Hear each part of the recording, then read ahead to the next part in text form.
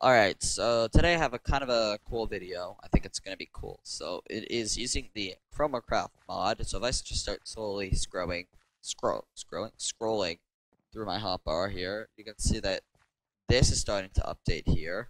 Um, my health is full, which is in the function bar here. I, I don't know why these light up, but like th these are important keys, so I guess they light up. Um, see if I hotkey it, it still takes a while for it to actually update. But that's okay, and sorry if this is desynced or just a really shitty video. I've been up for the last... It's now like 11.10, and I've been trying to record this for an hour. Turns out my recording was an actual recording. Or, well, it was, but I was recording at 64 kilobits a second. Which somehow was happening. Uh, not too sure. But there's only like two things I want to show you today. One of them is me using the mod, which is gameplay. The other one's how to install it. So if I can, if I can do this part, actually win it. Oh, clutch. Yes. If I can do that and win the game. Uh, you have a chest plate, which I need. Alright. Um, let's not get in the middle of that fight. Let's eat these apples. Someone just sent me an email. Oh, okay. It's my website telling me that things are breaking. Right? Because yeah. Uh, I, uh, I think I can show you a screenshot of what my thing looks like. Of what my email looks like. Basically, just sk1er.club spamming me because a few pages are just broken. Well, there are a few legacy pages that aren't actually used anymore. They don't. Nothing leads to them. Get out of here. Oh wait, if I drink this and then jump in here, you get to see a really cool thing. Whoa. Okay. Well, you also get to see me die, but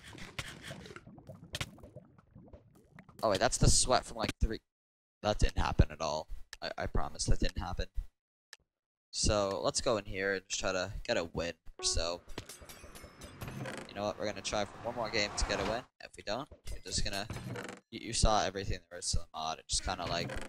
Oh, I forgot to mention. Oh yeah, um, ADD boy over here. I forgot to mention that. There are uh, potion effects here. So if I drink this, you can see it. There you go. Uh, I don't think they're color coded. They might be. I looked through the code a bit. I didn't really see much, but that's okay. It, it sent post requests in a certain way to like a certain internal server. Please don't kill me. Please don't. Please don't. Stop targeting me. I'm your favorite Minecraft YouTuber, but you don't need to target me. I might actually keep like continue to use this mod because it's actually quite fun. It's it's fun to know like I don't notice that I'm on fire a lot because I have low fire, but with this I I notice that I'm on fire because my entire keyboard just starts freaking the fuck out. There we go. Alright, sweat, sweat, sweat, sweat, sweat, sweat, sweat. I'm dead. Good game.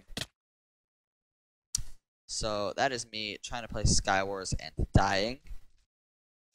Thank you for watching. That that's the cool part. If you want to know how to install it, there'll, there'll be a thing. Since a bunch of you are going to want to know how to install it, you basically go into Razer Synapse, you click Chroma Apps, you click Visit the Chroma Workshop. That opens up a browser window thing here.